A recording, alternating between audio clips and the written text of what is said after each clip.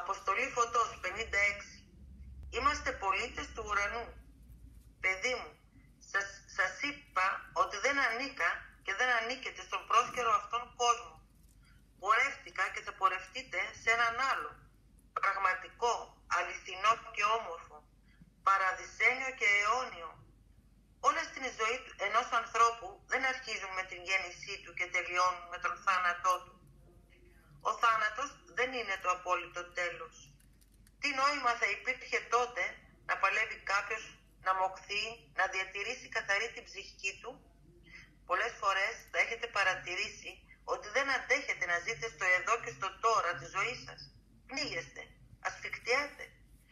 Γνωρίζετε πολύ καλά μέσα σας ότι όσα ευχάριστα και να ζείτε, κάποτε όλα θα τελειώσουν με τον θάνατο. Συνήθως τα δυσάρεστα είναι πιο πολλά στη ζωή ενός ανθρώπου. Όμως ο άνθρωπος δεν δημιουργήθηκε για δυσάρεστα.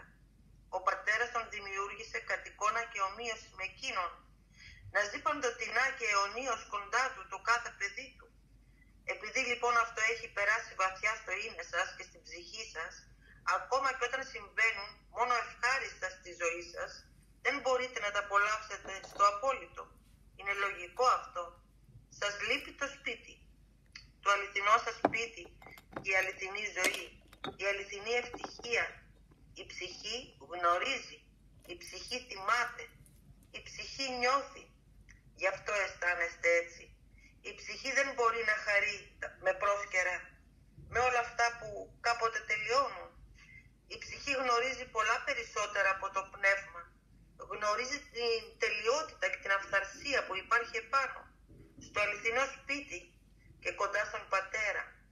Γνωρίζει στο απόλυτο την τελειότητα και όσες ευτυχισμένες στιγμές ζει κάτω δεν την γεμίζουν γιατί νοσταλγεί αυτά που από πάντα γνώριζε και ζούσε. Την ευτυχία στο έπακρο. Την ευτυχία δίχως σύνορα και όρους. Ριγμένη λοιπόν η ψυχή κάτω, κλεισμένη σε στενά όρια, ασφικτιά, μελαγχολή, απογοητεύεται. Η γήινη ζωή γίνεται βάρος ασήκωτο που για να αντέξει κανείς πρέπει να μην σκέφτεται. Αλλά τότε, αν δεν σκέφτεται, πάβει να είναι άνθρωπος.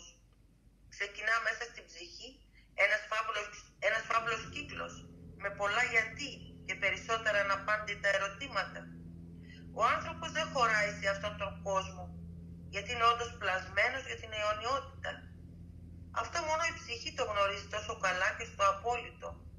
Παιδιά μου, γενεά μου πολύτιμη, είστε προορισμένοι για να ζείτε για πάντα ευτυχισμένοι. Να ζείτε με ευτυχία, κάτι που δεν τη χωράει ο νους σας και δεν την αντέχει η υγιεινή η καρδιά σας. Γι' αυτό σας προετοιμάζω και σας εξαγνίζω με μυριάδες τρόπους το κάθε παιδί μου με διαφορετικό τρόπο ανάλογα την ψυχοσύνθεση την δική του, ανάλογα τον χαρακτήρα του. Σέβομαι το κάθε πλάσμα μου, γιατί είναι τόσο διαφορετικό από κάποιο άλλο, όπως είναι το δακτυλικό σας αποτύπωμα. Τόσο ξεχωριστό και μοναδικό σε όλο τον πλανήτη. Δεν ταιριάζει με κανενός άλλου. Ακριβώς το ίδιο είναι η ψυχέ σας. Γι' αυτό προσεγγίζω και εξαγνίζω με διαφορετικό τρόπο τον κάθε έναν από εσάς. Με τρυφερότητα μα συνάμα με πολλή ευαισθησία και προσοχή για να μην σας πληγώσω. Να μην σας τρομάξω με την παρουσία μου δίπλα σας. Ναι, δίπλα σας είμαι περιστέρια μου. Όλους θέλω να σας συγκεντρώσω στα περιστερεώνα της καρδιάς μου, της βασιλείας μου. Σας το είχα υποσχεθεί ότι όπου πάω εγώ και εσείς μαζί μου θα είστε. Απλά για λίγο έφυγα από κοντά σας για να σας ετοιμάσω τον τόπο που θα ζήσετε μαζί μου για πάντα κατά Ιωάννη, κεφάλαιο 14, εδάφια 1 έως 3. Βλέπετε παιδιά μου, σας το έχω υποσχεθεί και ποτέ δεν αθετώ τις υποσχέσεις μου. Τώρα, στους δικούς σας καιρούς είμαι στην επιστροφή μου. Κάτω μαζί σας βρίσκομαι. Να σας παραλάβω με απόλυτη αγάπη και στοργή, με απόλυτη φροντίδα την κάθε μία ξεχωριστή ψυχούλα για εμένα. Ήρθε ο καιρός να γυρίσετε στην αληθινή πατρίδα και στο αληθινό σπιτικό σας. Το αιώνιο ευτυχισμένο και ουράνιο σπιτικό σας. Το νιώθετε στο βάθος του είναι σας. Η νοσταλγία έχει γίνει αβάστακτη πλέον στις ψυχές σας. Όσο ευτυχισμένοι και να νιώθετε, δεν αισθάνεστε, δεν αισθάνεστε ότι κάτι σας λείπει. Αυτό είναι πολύτιμα αγγελούδια μου. Σας λείπει το σπίτι. Σας λείπει ο πατέρας σας.